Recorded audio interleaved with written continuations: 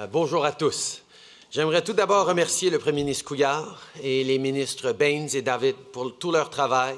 Et merci aussi à M. Breton pour, de nous recevoir aujourd'hui.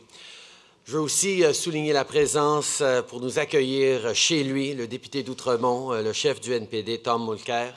Euh, et en tant que député euh, de Papineau, de l'autre côté du chemin de fer, euh, je sais que et le député d'Outremont et le député de Papineau, qui s'entendent pas souvent sur grand-chose, s'entendent tout à fait que c'est une très bonne nouvelle et pour nos quartiers et pour la ville de Montréal et évidemment pour le Québec et le Canada. Merci d'être ici, Tom.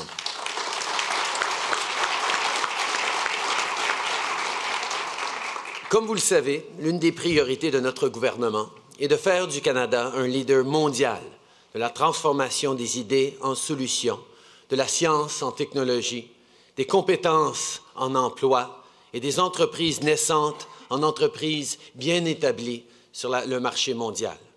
Dans le budget 2016, nous avons donc accordé des sommes importantes à nos universités et à nos collèges avec le Fonds d'investissement stratégique qui dispose d'une enveloppe de 2 milliards de dollars.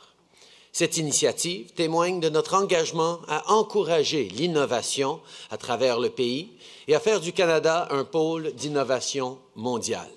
Et surtout, elle témoigne de la confiance que nous avons à l'égard des Canadiens, de leur potentiel et de leur savoir-faire. Aujourd'hui, je suis heureux d'annoncer que le gouvernement du Canada allouera plus de 385 millions de dollars au Québec dans le cadre du Fonds d'investissement stratégique pour appuyer la réalisation de 101 projets.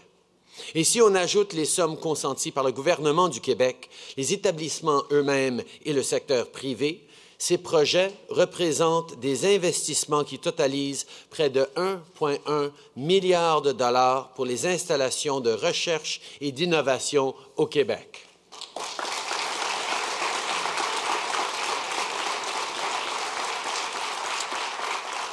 Today, I am pleased to announce that the Government of Canada will invest more than $385 million in over 100 innovative Quebec projects through the Strategic Investment Fund.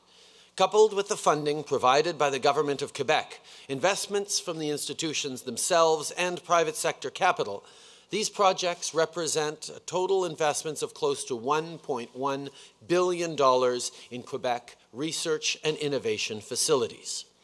Les gouvernements provincial et fédéral comprennent très bien que les Québécois veulent de bons emplois bien rémunérés pour la classe moyenne, qu'ils veulent être en mesure d'offrir à leurs familles, à leurs enfants et à leurs petits-enfants un avenir meilleur.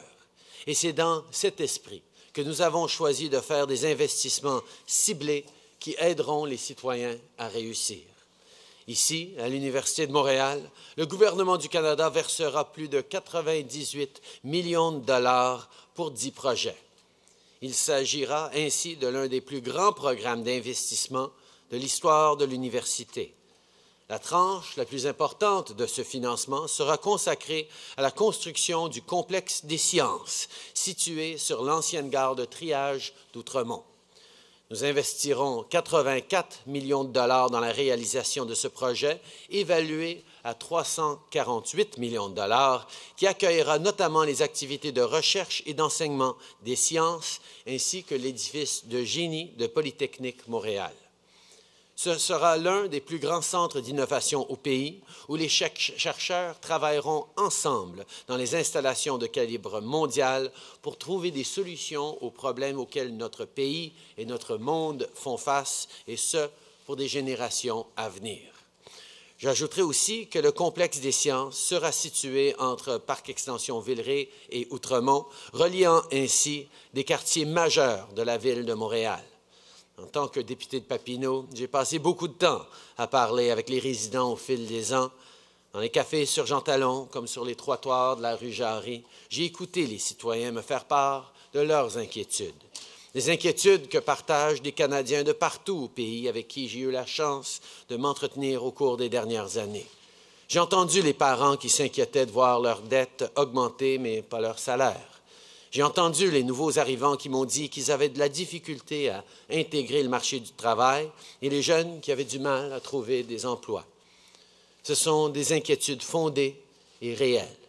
Des inquiétudes qui sont à la base de notre plan pour aider les Canadiens de la classe moyenne et ceux qui travaillent fort pour en faire partie. These investments in our higher education institutions are part of a broader plan to create new opportunities for Canadians and grow our middle class. By building cutting edge, progressive facilities and attracting the brightest minds in our country, these investments will create conditions conducive to innovation and long term growth.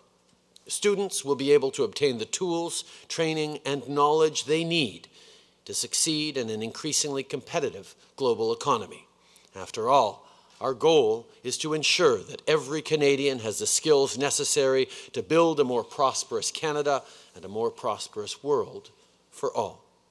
Nous voulons que les Canadiens voient les occasions qui se présentent, envisagent d'autres possibilités et trouvent de nouvelles idées adaptées aux réalités d'un monde qui est en constante évolution. Et les investissements annoncés aujourd'hui représentent un énorme pas en vue de réaliser les objectifs qui sont au cœur de nos priorités.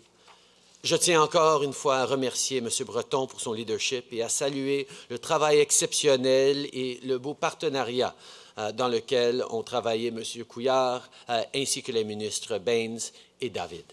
Je suis impatient de continuer nos efforts conjoints visant à garantir un avenir meilleur pour tous les citoyens. Merci beaucoup tout le monde.